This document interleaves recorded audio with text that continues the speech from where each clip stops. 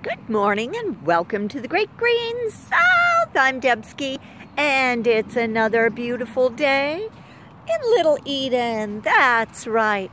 Currently it is 60 degrees with a high of 87 today. Oh, sunny skies here in beautiful Southwest Florida and spring break is underway. The kids are back from Miami. That means I'm going to get my lawn mowed. Yeah, I'm not going to take you for a walk around this morning because I already walked the dog.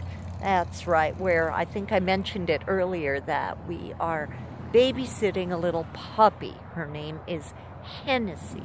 Just a cute little thing, but they're so excited. Oh, they're, they're full of so much energy all the time.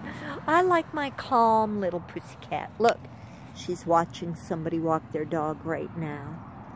Yeah, I like that. Cats just like to hang back and chill.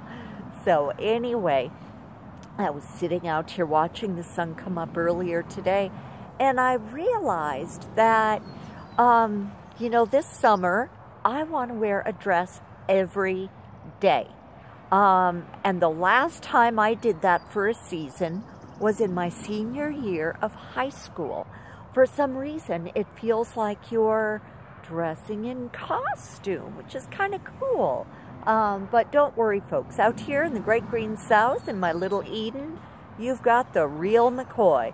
I've got my trusty aqua-colored robe, my nice, warm Mexican uh, poncho, comfortable shoes, vintage leg warmers, because um, uh, the air is cool and my pajamas are shorts today.